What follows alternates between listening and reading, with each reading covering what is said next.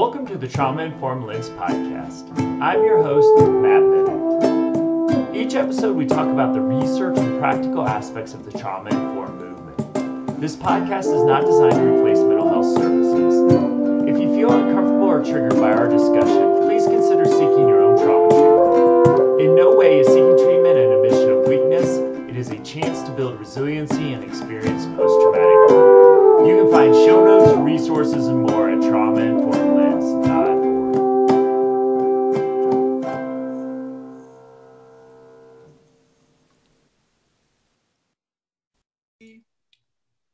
To the Trauma Informed Lens podcast. I am Matt Bennett. I am here with Pat and Tammy McLeod, uh, uh, who are the authors of a great book, Hit Hard. Um, so I'm really excited to dive into the book, dive into their story. Um, uh, a lot of our listeners know, and Pat and Tammy let you know as well. Um, I, I, ran a school for several years for, for what we called, I hate the labels, but dually diagnosed developmentally disabled children.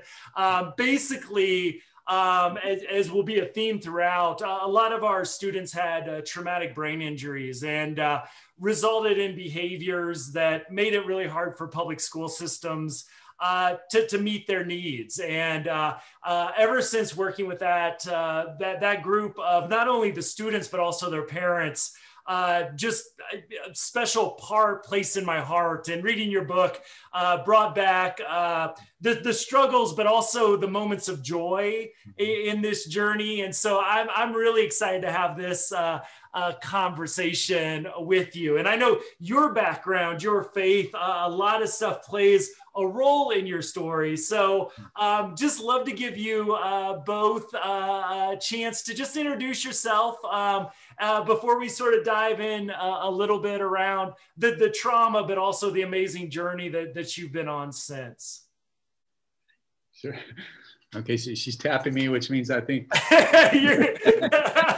Let us introduce ourselves, and then do you want us to just launch into the story, or you? Yeah, let's do it. Um, so, so, yeah, I'm Pat McLeod. This and um, this is Tammy McLeod, and um, uh, we actually serve right now as chaplains at Harvard University, and we have been doing that for about 20 years now. And we're the parents of four kids. They're all pretty much adults. We still have one at home, but he's he's a student and uh, near the end of college. What would you add? We have been in Boston for 21 years. Before that, we were in Montana living, but our full time work is with 18 to 22 year olds. So we've done that for 36 years. Worked with awesome. college students including what sounds like some amazing works in, in Africa as well. I love that part of the, the story too. So, well, welcome. Uh, so, you know, it's always hard to say, well, let's talk about the reason why you're here. But I, I think you were so open in the book. Um, and I can just imagine families going through any, any sort of experience like yours uh, a must read for, for your experience. But it, before we kind of dive into some of the, the questions that, that I'd love to discuss with you, if you could just give our listeners a, a little bit of background um, on, uh, on your story and, what led you to write the book. Sure. Uh, well, our introduction into the world of, of loss and brain injury occurred the first at the first large group meeting of our year, um, we were there with our youngest son. Um, in a, you know, a couple hundred students are in this auditorium, and the meeting has just ended. Someone runs up to me, a, a Harvard student actually, and taps me on the shoulder and says, uh, "Your son is trying to reach you." So our our third oldest child was at home alone, uh, and as soon as I he couldn't get a hold of us because our phones were hidden in our backpack and they were turned off. Uh, he had managed with some help to get a hold of someone who was at the meeting who ran up to me, handed me the phone.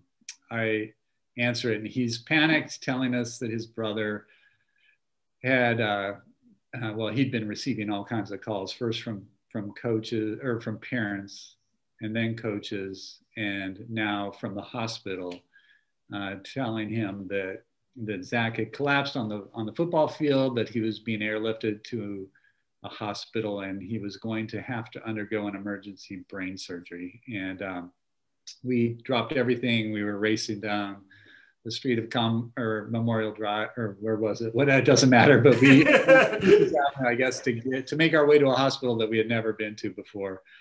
And when we were there, the doctor informed us that this could result in death. Um, but it's possible that he could have a full recovery or anything in between. And I need you to sign right here. And we did. And in a moment's notice, they whisked him away. And um, you want to take it from there? So the uh, death to full recovery or anything in between, we ended up with in between.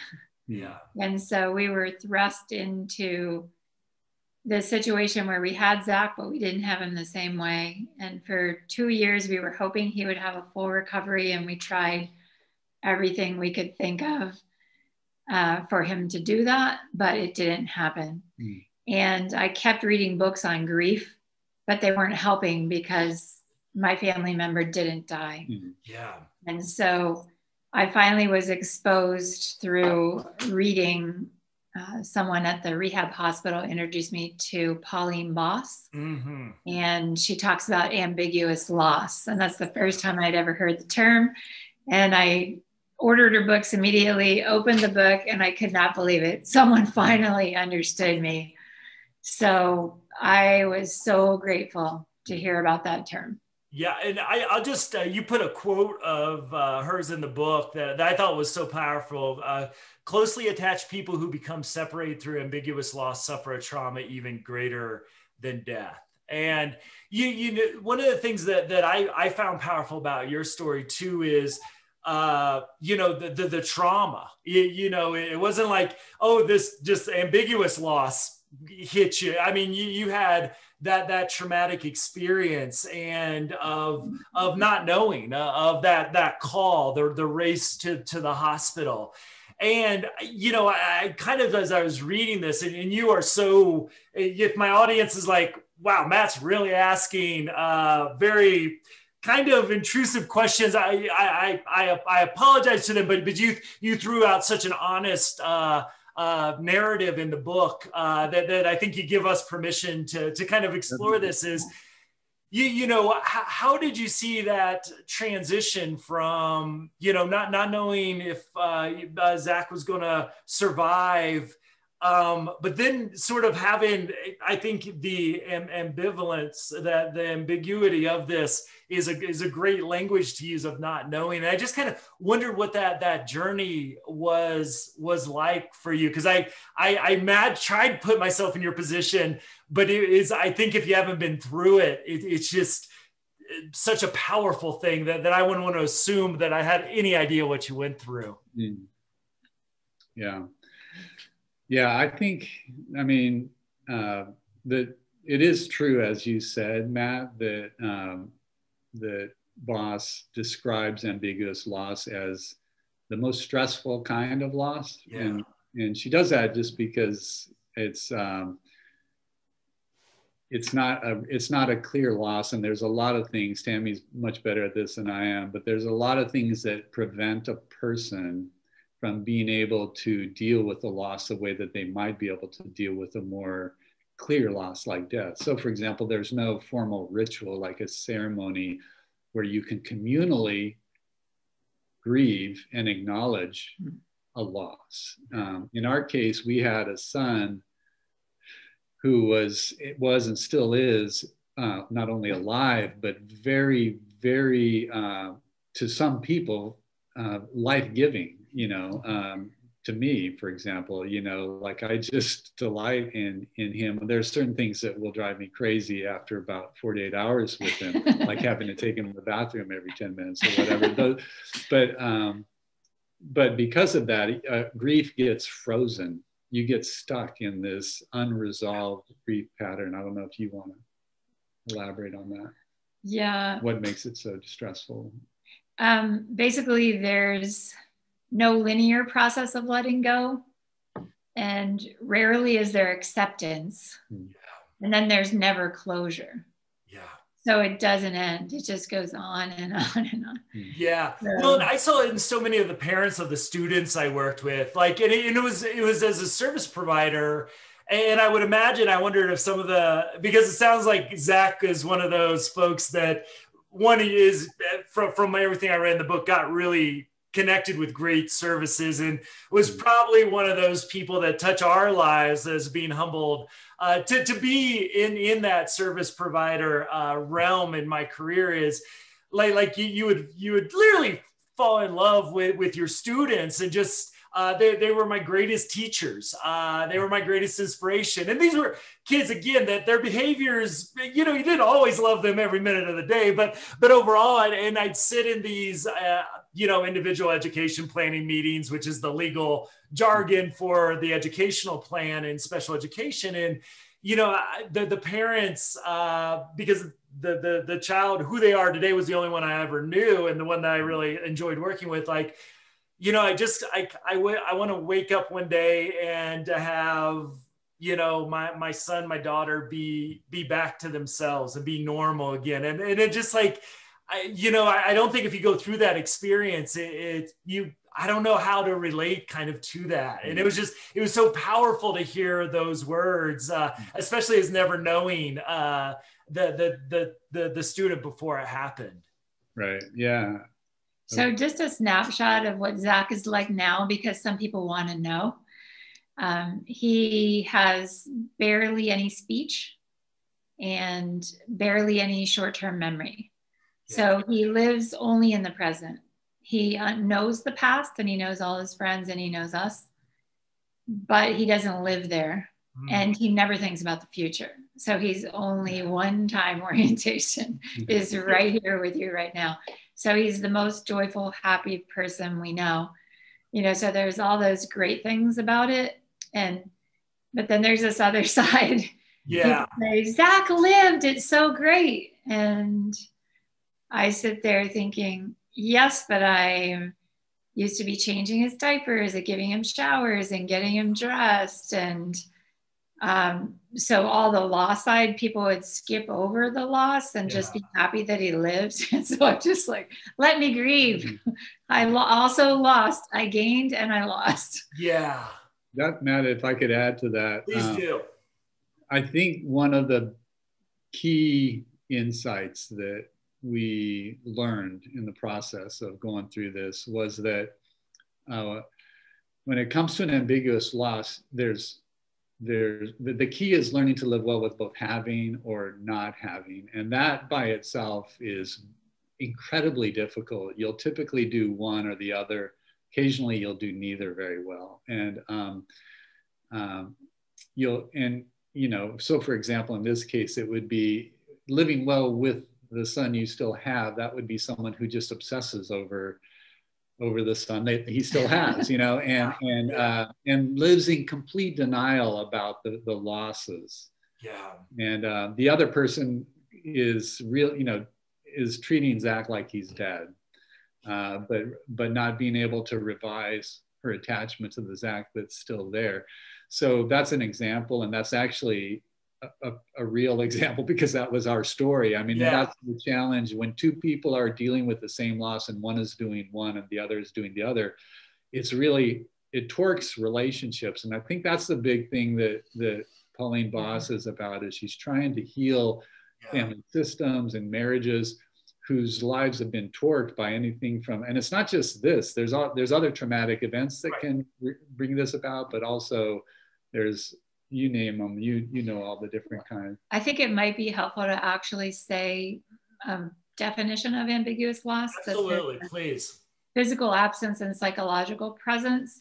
And so that would be like people missing due to war terrorism natural disasters um, kidnapping incarceration divorce adoption immigration. Mm. so there have to be listeners in that category uh, yeah know, a lot of those make the we have this adverse childhood experience study which was one of the foundational ones that really opened our eyes to the impact of trauma. And you you just listed off a, a whole bunch of them. And i appreciate the military deployment having worked with the military uh, schools on a military base and just what that does to families as well. The other type is psychological absence but physical presence. So that would be Alzheimer's disease, dementia, traumatic brain injury, chronic mental illness. Mm. So gambling, um, alcohol, drugs. So it covers a lot, ambiguous loss. Yeah. And, and then you add the pandemic to it, you know, where you got every everyone's experiencing yeah. Yes. And, and I mean it's very similar because you know it's like the in some cases people are getting very clear losses and, and it's very tragic the way that people are losing family members and friends. Yeah. But there's also those cases where you, you know, it's hard to feel like bad and, and to actually grieve the losses when you know that's happening and all you did is you know lose a graduation ceremony you know right. or um, you know a season of a sport and these kinds yeah. of things but those are actually really significant things in the life of, of people and and points of passage and they need to be acknowledged they need to be grieved uh, and it's it would be helpful for people to be able to do that in a community anyway. Yeah, and one of the things uh, you you both do so well in in the book, and I even find myself choking up a little bit when when I say this is the the loss of a, a future, an anticipated future, and I just thought you know, I, I, working with the families that I did, I I, I sensed that, but I, I, think we were so, and, and your book would have made, if I had your book like 10 years ago, I, I, I would have probably had better language to have these conversations uh, with, with the families, but it's just like that, that loss of something that wasn't, was kind of tangible. It was, I think maybe taken for, maybe not granted, maybe that this was going to happen. And then the, the loss of something, which is a different loss because it was anticipation. And I, I just thought you, you, you just described it in, in such powerful language uh, that, that again, I wish I would have had that uh, just when, when I was working with those families. And I wonder, like, when you think about that, uh, you know, as part of this ambiguous loss, um, that, that loss of future, what, what was that like to really maybe come to that realization that this is going to be different than you you thought thought it was in ways you probably never even imagined uh, when you thought about your life at this point. Yeah. For me, it was hard thinking about Zach will never marry, he'll never have children because he wanted to move to South Africa and work in the township that we were working in with mm-hmm. Harvard students. And he wanted to get married and adopt 10 AIDS orphans. That was his goal. That's some good parenting. Yes.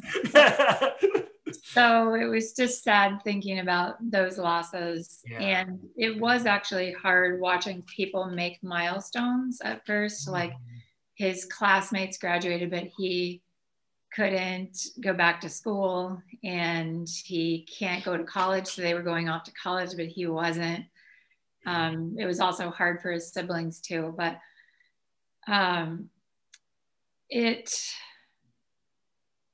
when I think of what is hard for me in particular, one of the things that Pauline Boss talks about is revising your attachments is one thing you need to do to be resilient in ambiguous loss. And for me, for example, we had Zach and I had the mother son bond, but then we had a very deep spiritual bond. Mm-hmm. So we would pray every day together before he went to bed. We would read the scripture together and talk about the future what were our dreams and hopes and we'd sing worship songs together playing our guitar so now his right hand doesn't work so he plays the chords on the left hand of the guitar and i strum with the right hand yeah um, i sing but he really can't sing that much so it's not us singing together anymore it's me singing and he agrees along with me when i pray he can't pray very much he could he can say a sentence that you probably wouldn't understand, but I would. Yeah. He can't say more than that, really. So it's me praying and he's silently agreeing along mm. or reading scripture. It's not him sharing anything with me, it's me just reading it. So we've had to revise yeah. what we do together. But still keeping the, the the foundation in a lot of ways, which the I think is yeah, the attachment doesn't go. The attachment yeah. stays, but you have to revise it. and and you know one of the things is, is I read your book you know because you know as, as I as I tell any group I speak to about trauma I don't get excited about trauma that that would say something very very weird about me as an individual but but it's the post traumatic growth that that we can help people experience. And you know reading um you know because because your book was again very very powerful and very honest uh in, in the way you you just gave the reader a, a really kind of felt like i was along on the journey uh, with you, but both the the positives, but but also the trauma with that as well. And I I wonder from the uh, ambiguous loss perspective, one of the questions I kind of walked away from is, you know, usually post traumatic, well, post traumatic growth is, in my thinking, is at some point the trauma ends and maybe it's homelessness. So you've been experiencing homelessness for 10 years. So it's maybe not just something that happened on a horrible afternoon but something that continues. And i wonder when when we think about post-traumatic growth or gaining wisdom uh, and strength from an experience I, I heard that language coming out and how you told the story. I would just love to ask, as somebody who's dealing with this loss, that you're, I, guess I w- I would probably use the words, and please correct me, that, that is still there, present with you every day to, to some extent. When I say post-traumatic growth, does that sound like something that's that's sort of real uh, to you all in your family? Yeah, I mean, I could say something about that, Matt. We, our interview is falling on a you know, interesting moment because uh, last week, I guess it was a week before last, we received a call. You know, Zach FaceTimes me during the pandemic. Mm-hmm. You know, we can't see him in person. We haven't for quite a while. Um, and we get, but you know, he FaceTimes me like every 10 minutes to try. after 10 minutes that we just had a conversation. We, we, call that a good secure attachment in psychology. yeah. Yeah.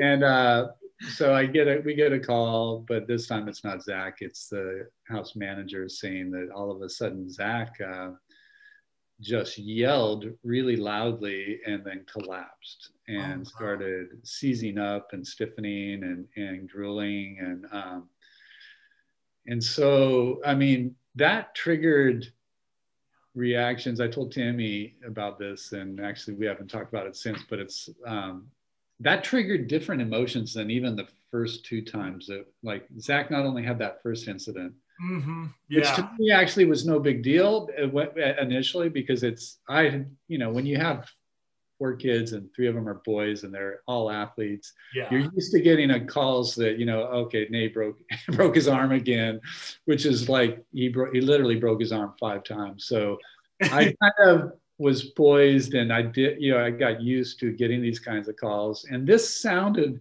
until he said the helicopter thing, yeah. this sounded pretty minor. But even in that case, I'm like, you know, this maybe let's just not overreact until we get the deal. So I probably, you know, was, I, I just had a completely different response than I did three times later. This time, my mind immediately goes to the place I may never see my son again. I may never talk to him again. That could have been the last word that I will ever hear him say. You know, all that stuff hit me really, really hard. So there's there's that. I think there's there's also then though, did you want to say anything about just the trauma? I just Oh, I just wanted to say I'm so grateful that you do this podcast yeah. because no one ever used the word trauma with us ever. Oh. In any hospital, yeah. in any counseling office, in anything. Oh. So I was just yeah. like, oh, we needed your podcast. well, there's like 150 hours of it if you're if you're looking for something to listen to. So uh, I just joined this uh, trauma healing group that we're studying yeah. trauma now. We meet every Tuesday night, so we're meeting tonight but then I just thought about what you're doing. You've just laid down so many tracks for families. So people need to hear what you're talking about Yeah, um, and, and I think to be because it's like you got to be in your position, especially be strong. Like that's like I like you know, and, and again, you shared so honestly when you weren't always able to to stay strong. But I, you know, that, that to me is just like and what you you might describe it. I'm sitting here on the edge of my seat. Uh, if if you don't mind giving me an update, if if Zach's doing it, I I feel like I'm kind of uh, somebody who comes over for for the holidays at your family. So after finishing your book, uh, but but you know what you're describing in my language is post traumatic stress. Uh, you know, all of a sudden, I'm sure you brought. We talk about this as re-experiencing, not always the same emotions, but but the intensity all starts to come rushing back uh, and, and, how, how scary uh, and, and I'm not to put words in your mouth, but I can imagine that that, that was. Yeah. yeah.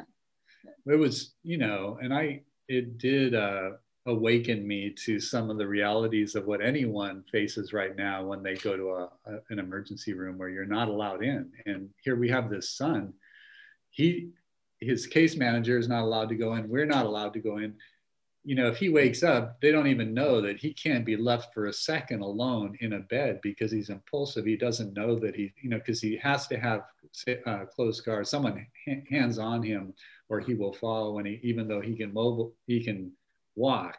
Yeah. He's not. So, so all of that stuff is like brewing inside of us. It was a, and you know, so COVID hasn't made no life easy for us in that regard. Anyone who has something, you know, an emergency situation is this faced with sort of traumatizing experiences at hospitals.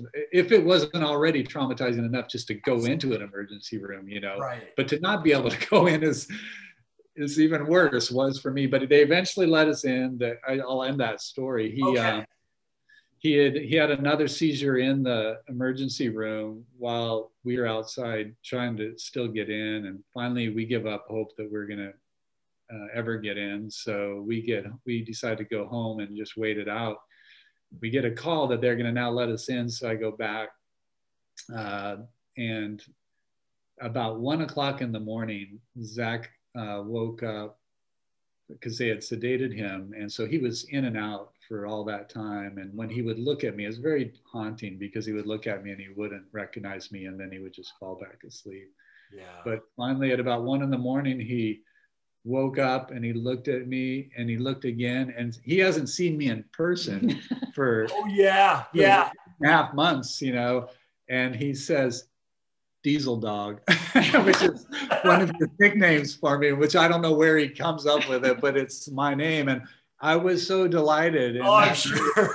So I thanked him for faking the seizure so that we could actually get, yeah. they, let, they let me stay in the emergency room for pretty much 24 hours. Oh, not quite that much, but, you know, but quite a few hours, and we did a lot of hugging. And okay, I'll wind it up, Tammy. yes. Oh, well, good. Thank you for for the update. Uh, yeah. You, you know, and, and the, the thing is that that when I read the book, you know, to me it was basically a book about relationships. Um, you know, you know, and I, and I would, if it's okay, I'd like to ask you. I, I kind of put these relationships in, in a couple different boxes.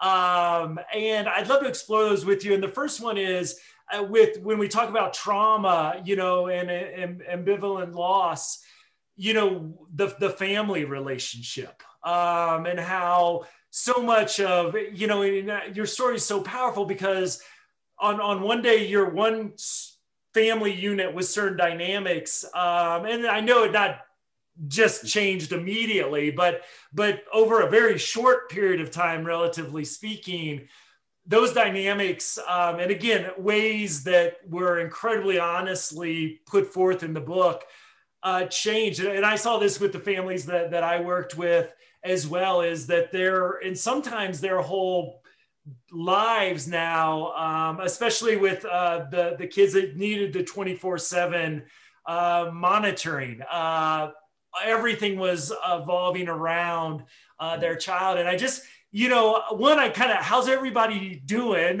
And, uh, you know, and uh, just from your experience of having those dynamic shifts so, so quickly.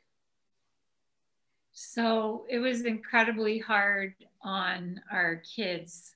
Yeah. The we had a ceremony of ambiguous loss mm. since Boss recommended yeah. that and they all spoke so my daughter said to me one day you think it's bad to lose a son i lost a best friend yeah and so in a moment the person she texted about everything is no longer there um, the little son our youngest who's now in college he actually slept with zach in a single bed Mm. And he just loved to be with him. And yeah. so Zach carried Soren around from the moment he was born. he was like his little child. So he was like a dad slash brother. Yeah. To Soren. And so in a moment, he just lost that person from his life. And he more went internal and became very quiet.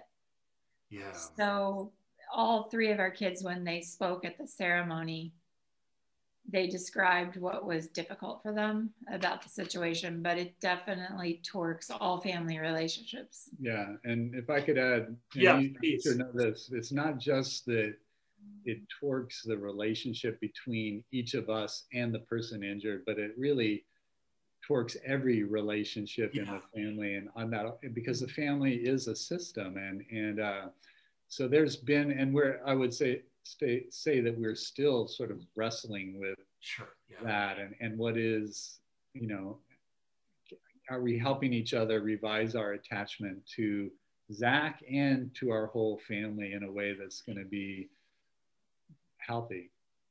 Well, and, and that's like, go ahead. Yeah, like like the families that I, I worked with, and what, what why I wish I had your book at the time to to give to them. It, it's the and, and uh, you know, and your children may have voiced this better than anybody. The one that do we have to go to the hospital every weekend? Uh, you know, I believe was the quote, and it's like the the you know, and in, no way am I saying anything you've done is selfish, and in fact, the exact opposite. But to, to have, I mean, you're you're you're probably your life doesn't look like you thought it would at this point, and and there's that that loss that's there for everyone. I think we're, you know, again, sometimes oh we got to feel fortunate or lucky and never sort of giving yourself a chance to be human in the experience. And these parents were my heroes because of their their resiliency um, uh, with with their children that we often had one-to-one staff during the school day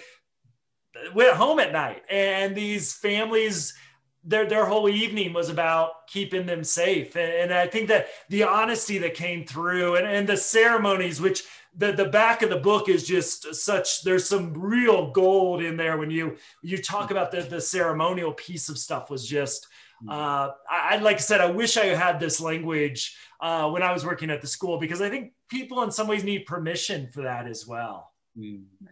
I think you're right in saying, Matt, that this is a like the story that we've written. First of all, I I do hope that it will be for other people what we wish we would have had, which is yeah. a story that can name the kind of loss that we have. And just the, the, the great thing about stories is we do, we can see ourselves in, in characters and we can, um, you know, we can learn from that for yeah. one, but also stories just they like you've used the word journey a few times. I do think that a good story can take a person on an emotional journey and in the process surface and soften some of the hardest emotions that we experience in life. And and uh, Zach's story, I think, does that. I think it it you know it will will do that for people. And but it also, I think, begs for a bigger story that can absorb it and to make sense of it and give us hope and provide meaning. And I do think that the book has a way of pointing us toward a bigger story too that can help. Absolutely. Absolutely the, the other relationship that, that I was I was really fascinated with uh, turning the pages through the book too is uh, your your faith and relationship with with God. Um, to, to me, working mostly with survivors of childhood trauma, th- this is a, a difficult thing because especially you know a lot a lot of the youth I worked with that ended up in foster care or the school that I mentioned you know, uh, just horrific uh, abuse, uh, you know, and, and the, the, the replications of that trauma. And, you know, wh- whether I, I meet them in their teen years or working with them later on down the road as adults, you know both the both the kind of struggle with why did god allow this to happen to me you know we're, we're told there's a loving god that you know all powerful all knowing and obviously throughout the, the course of your book which is kind of a it's been an ongoing theme throughout uh, the last few months of the podcast. We get to spirituality eventually, but obviously, it seemed like a foundational piece of the way you help cope and get through it as a family, as your faith, and yet, you know, so so I, I just, uh, you know, that relationship I also was really really powerful, and I wonder, as being experts in, in this arena of faith and of spirituality for, for the listeners who who either in their own experience or maybe they're working with somebody whose faith has sort of been shaken because of things that have happened to them no fault of their own but inflicted on them uh, how, how did you manage to keep so strong in your faith uh, when I could see it going the other way, pre, pre I was kind of angry at God a few times for what yeah. what happened. Uh, so, uh, but you never really seemed you, you wavered maybe a little bit, but I think I wavered more than you all did. So, so, yeah. so how did that faith serve you, and, and how were you able to keep that in some of those the the dark moments that you share in the book? Yeah, that's a that is the big question, isn't it? And I think it's a question that. Uh, you know a lot of people wrestle with but for some reason and this is the honest truth i think um, let me even back up and tell you that when i first came to harvard i uh, i think the year after was at a conference where i gave a talk on something jesus says one of the most outlandish things he says which is um, blessed are those who mourn for they shall be comforted. And i uh, i gave a talk about that, you know, uh, because think about the, the oxymoron there. How happy or blessed are people who are sad and in mourning and grieving, you know, it just doesn't, what does that mean? And, and so I gave my little talk and this guy came up to me afterward and confronted me and said, have you ever really lost someone? Have you ever really suffered? Have you ever really mourned? And I was like, you know, he wasn't asking a question. It was he was making a statement yeah. and wasn't interested in hearing what someone who's just reflecting on this academically has yeah. to say about it. Well, everything he was right. You know, I didn't really have a position to, to talk about that. Well, fast forward, you know, eight years later, we get this call, we're thrown into this world. It's clear to me that I didn't know how to mourn at all.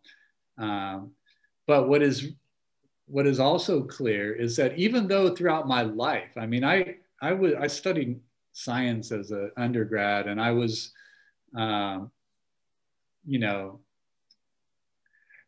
I had a lot of reasons to doubt and to question my, you know, theistic beliefs.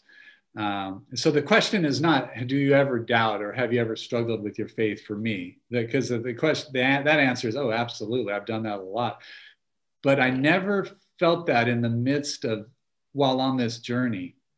And I think, it, in fact, to the contrary, like of, of the four moments in life where I have been so overwhelmed by the sense that there is a God and that that God was there and present almost in a tangible way in my experience, three of those happened, or actually, so there have been five. Four of the five happened in the context of this journey with Zach. But but I'm quick to add that the God that met me in those moments was not a philosopher's God. It was not like like the unmoved mover of Aristotle, this uh, you know omnipotent and omniscient being. It was the suffering God, a crucified God, if you will, who, who's come into the world, who understood our suffering, who's tasted suffering in order to save us one day forever from it. And so to me, and that's the God that I felt like met me and comforted me, which is, and you, I mean, you would say something. Why, why don't you speak to it too? Yeah, just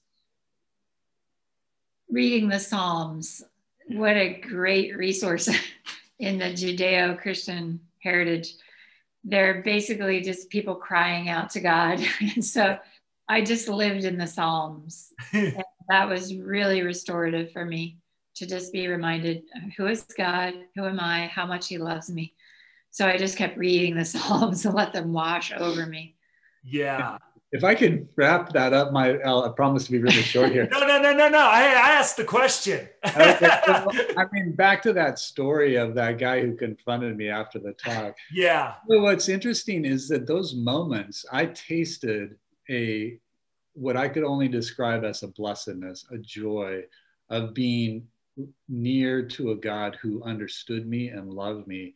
And that's actually what I said in that talk, you know, but it was some, so I don't think you have to go through suffering to learn certain lessons, but it's because of that, even in those moments, the moment that I was crying out in desperation and all of a sudden overwhelmed by the sense of a God who loves me and who cares for me and who's come into the world to rescue me. That brought me more deep, it brought me deeper into the story of redemption. And this is, and Pauline Boss actually mentions several times in her research that actually religion, right, can be of help for people yeah. in uh, working through trauma and getting resilience in the midst of loss because it because it attaches them to narratives of redemption mm-hmm.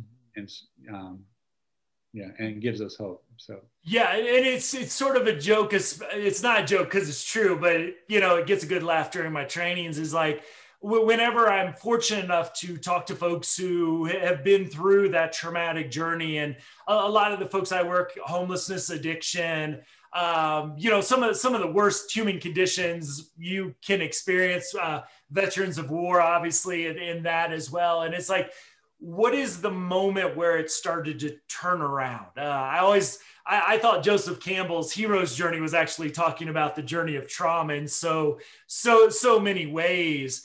You know, and, the, the thing that I they always get, it's like, well, I reconnected with God and got a good case manager. Like that, there was there's this mix of faith, and I think folks in uh, the the professionalized helping healer, uh, we don't we don't talk about the role of faith and spirituality enough. Um, and I know that it's tricky. It's it's ground we've got to thoughtfully approach and manage uh, from from the, um, our our roles. But again, to me, it's it's right up there. One, you connect with another person uh, who sees something in you, you might you might not see in yourself, and then there's that reconnection to spirit. Uh, that that is part of that kind of kickstart on to that other part of the journey. And I, like I said, I'm a big advocate. We need to talk about this and and learn from each other uh, too, because again, your story is like I said, that relationship with God uh, you know, is such a powerful theme uh, throughout. Um, and your honesty is, you know, I, I, imagine, and as you're talking, it's different today in some ways than it was before all this this happened as well. Yeah. Yeah. So my my final relationship, and even though we've talked about some tough issues, this might be the contentious one. is the relationship with football. Um, I know, I know, I know. And let me just, I will stake my claim on whose side I'm on. I don't know where this is evolved. But, uh, you know, I actually gave up football about three or four years ago. Uh, I, I found myself as someone who talked about trauma's impact on the brain. I shared some of my work experiences.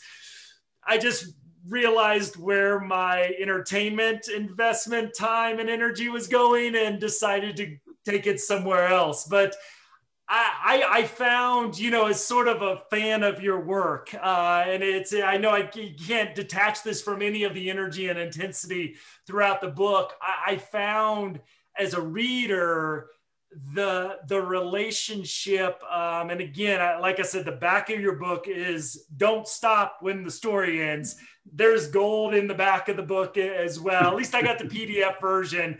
Uh, but but there's the pictures and everything were just amazing. Um, but where's the relationship right now with this this sport if i can ask? Because i was i was flipping through to see sort of uh, yeah. where where it ended up. And so uh, yeah I, I, just wonder and i'm from denver obviously so the tim tebow i lived through tebow mania oh. too which is a huge part of your story so you kind of got the good, you got the the, the horrible, traumatic.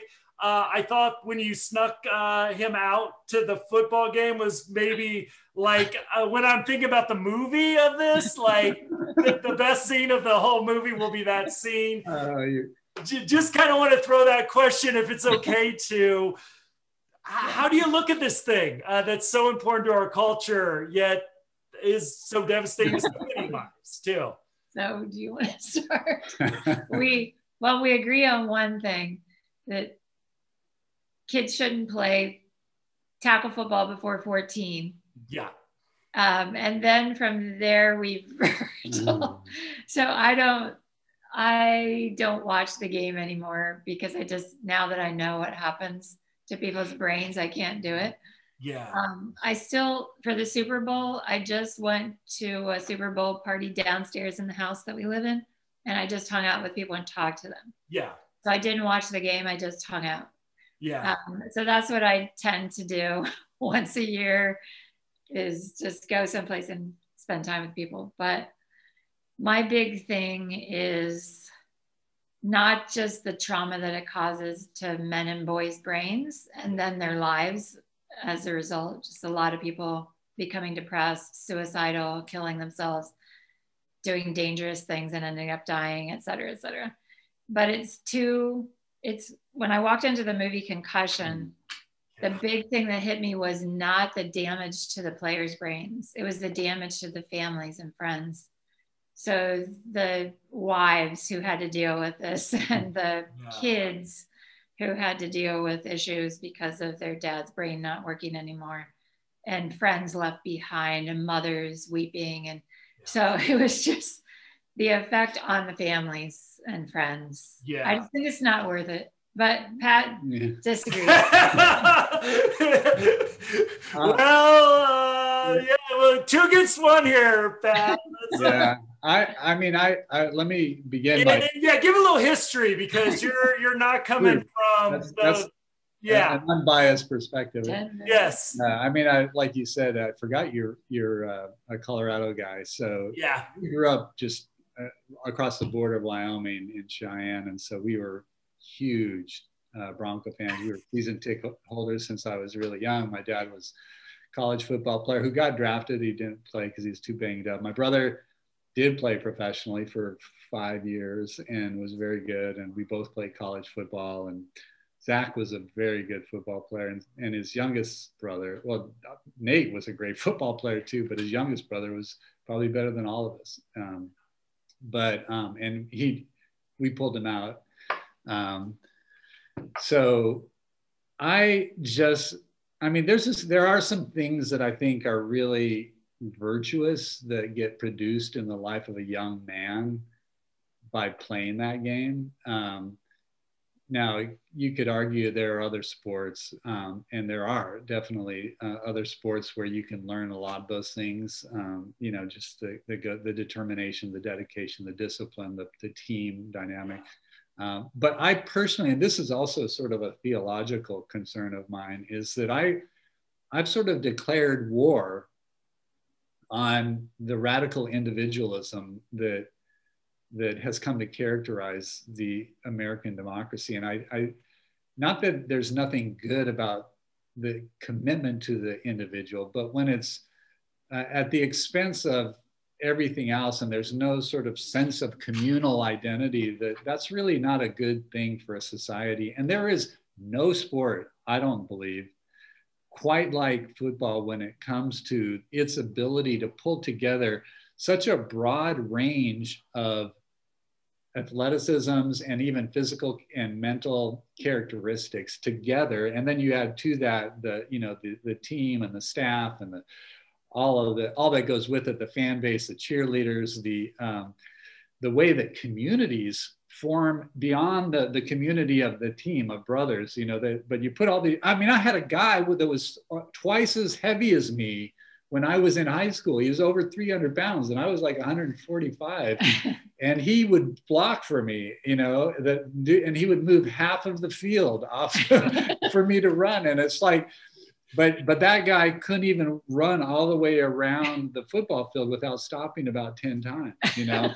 and I could fly, but I could, you know, not move mass the way that yeah. his mass could move mass. So you get that kind of combination of body types and personality. It, it does bring people across races together, and which is a significant fact. Um, you know, in, where where this is practiced. So I, I think for those reasons, you know, I would love for them to find a way to make it safe on brains. I'm not sure that it can be done though. So I and and the evidence is becoming it's mounting that that it's not just what happened to Zach was a fluke, but yeah. what's not a fluke is the uh, long-term effects of these recurring like headbutts. Yeah. It sounds like, and and and uh, the number of concussions. So anyway, yeah, I mean, I, I, think that that's, and you know, I was born uh, Catholic in South Bend, Indiana, and if you're a football player, I don't need to explain uh, that, that that if I don't root for the Irish, there's a special place in hell for me. So, uh, you know, th- this was not taken lightly. Uh, this yeah. decision because you know you, you're right, you you lose your tribe in in some ways, and yet mm-hmm. yeah, it was one of the it, was, it wasn't an easy thing, and my wife has to put up with my existential crises. Uh, but but it's you know it's really an interesting I think time that that we're in around. Uh, this issue and, and obviously you, your family story and I, I love it, it, I won't give it away but Tim Tebow makes a, a huge guest appearance uh, in this book and I think just a way that uh, you know Tim Tebow kind of became this cult of personality in a lot of ways but really shows at the core you know who who he was if we could just kind of remove all the cult of personality pieces away. Um the, the story is just like just so so touching um uh that that is told in your your interactions with you know tim and his family. And you know you know does that happen if, if not for something like football? And it's it's this really tough time because you know from my that that brain is just developing so rapidly. Like if we could hold off starting till 25 or 26 then the science would say you probably shouldn't do this but you've come along enough. And that, that's where i just think it's a it's a struggle of you know how do like you said how do we find a safe way to, to do this? And i'm a i'm a, also a kid who grew up heading a soccer ball uh, yeah. probably a, a few thousand times that i wish i could have back uh, too. So yeah, it's. But I, I, think again in the book it was just such a uh, an interesting uh, experience that you had with that, especially again from your background of mm-hmm. you know having professional uh, you know football players in your family is is really powerful. Yeah. Is there is there any other? And I appreciate your honesty, uh, both in the book. Like I like I said, I feel like uh, you know you know you wrote a good book when I feel like I'm I'm like the uncle from out of town who comes over for Thanksgiving. um, so I feel like I, can, I, I need to catch up with how everybody's doing. But um, just anything else, and then the few minutes we have left, any other big kind of takeaway lessons that that I may have not have uh, touched on. Uh, that that for folks who might be experience uh, a, a, loss uh, similar to to yours in some way, um, any suggestions or, or, other lessons that, that you'd like to share? One thing for me that we didn't get to under relationships was marriage. So I, I would just say that yes, for a partner, grieving can actually isolate you would think that when you hit a really hard thing in life, it would pull you together. But because people grieve in different ways and on different timetables, it just can really crunch the marriage. And so, just the respect to hear each other's view how are you doing? Just letting the person talk, not trying to fix them or read their auto, your autobiography into their life or solve yeah. their problems. Just let them talk, let them mourn, grieve. Um, and stay just it's possible to stay together yeah which is statistically you're you're in the minority of and i again i, I would also suggest folks going through this uh you know i like you said i think there's the percent oh this will make us stronger this will you know tra- trauma doesn't necessarily do that we we we can go into our own corners we all grieve differently which is not necessarily our personality when we're not grieving. And I, that was a really powerful thing. I appreciate you uh, bringing that up um, as well. Is really powerful part of the story is how you took time uh, and again kind of gave us uh, behind the scenes uh, look into the that it wasn't all easy uh, and that that how you overcame some of those those struggles. Uh, so that, that was a huge piece of the book as well. Yeah if i could give my two cents on that i think if i could recommend two things um, on the marriage front one would be um, and this is all you know just stuff we've learned from our own counseling journey. Uh, number one is just to be gentle with each other when you're in the midst of these ambiguous losses. And uh, you know that's that sounds so simple and but it's so important. And you know um, we found that to be i mean that has echoed in my mind from our counselor and it still does even like a couple weeks ago when zach went back in the hospital i'm like um, just be i need to be gentle with tammy because this is hitting her as hard as it's hitting me you know and i, I that gentle means you know pay, being patient and and and not always saying the things that are going through your mind you know and uh, and we would that would be my second thing is that we sought out grief therapy and uh, or i guess that's what you call family therapy and we just made a, a rule that first of all we wouldn't talk about anything that's really stressful after nine o'clock. And then if we started finding ourselves about ready to get into an argument, we would be, let's just wait until we're with our counselor and we'll, we'll do this in his presence because we fight so much better when someone is there watching. I don't, you know, we don't manipulate each other. We don't say things that, you know, you can say yeah. when it's just you and it's one-on-one, but it's like, if you know, if you say that, this, he'll call you out on that because it's not true or it's hurtful yeah. or whatever. And so, uh, yeah, I think that that's really helpful when people are going through traumatic um, grief. And um, that's it, I think. I just have to say one more thing. um, I was tempted to think because tragedy happened to our life, in our lives, or if you would say trauma, like trauma happened in our life, then our life's going to be ruined. Mm. I actually totally don't believe that anymore. Awesome. That our story can be just as good moving forward. And so that was really, really an important thing for me to understand. Yeah. Well, and, and I, I congratulate you because I, I know, and I congratulate you not just because you woke up one day and you were there, but the book plays out the hard work and the thinking that you've done around this is for for so many parents and i would really try to support them though sometimes it was almost too ingrained. It all become their life becomes really only dedicated to the trauma and the the you know when we talk about the loss. And some of that is just the the intensity of the situation makes it almost impossible not to without a great deal of effort and support. And you know again your story serves as a great example as you know, and you may have not have framed this in my kind of therapy voice, but like who who are we you know? And this is a part of our story. It's a huge part of our story. It's going to be a part of our story moving forward in the future but who are we beyond the loss? Um, and that's where i took great inspiration from you know you're almost you're you're you're the role models for why therapy could be such a a good tool. And not that you couldn't have got through it without it but it just sounds like it was such a important tool to to do that work and find that you know, I, I guess I would look at as a little that that space for for you. And and you know uh, i would imagine in the book i'm also seeing what's our relationship to our other children as well with with the loss but also outside the loss as well. And and how you put that forth throughout the book was just incredibly inspirational uh, uh with that as well Thanks, Matt. Yeah. It's really been great to be with you. Thanks for hosting this and letting us be yeah. a part of it.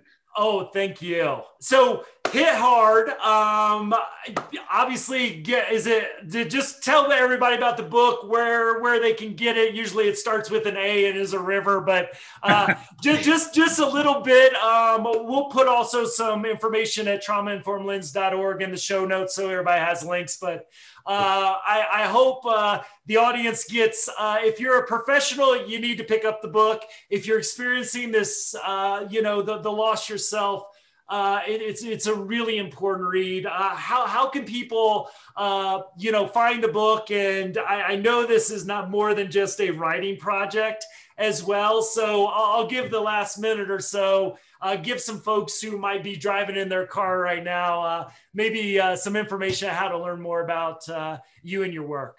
Hmm. So our website is Pat and Tammy McLeod, M C L E O D dot com.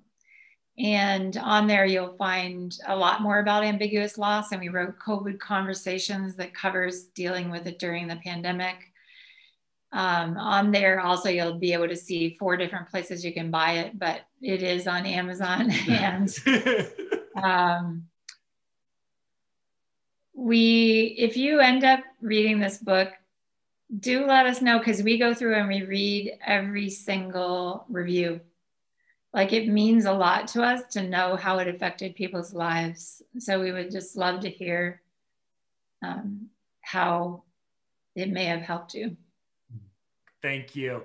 Well, again, thank you both for putting this into the world. Um, uh, like I said, I can't wait for Thanksgiving after COVID. I'll I'll be there. Uh, you know, uh, we'll, we'll go for a walk while the boys watch football or whatever, and uh, just, just, just judge them and all that stuff. But I want to seriously uh, thank you for the great book. Um, again, it put new language in my vocabulary in a way that made it very real. So uh, thank you for the great resource you you gave folks struggling with the loss, but but also the world as well to bring this to even more people's attention. And uh, um, I, am glad uh, I got to share it with my audience as well.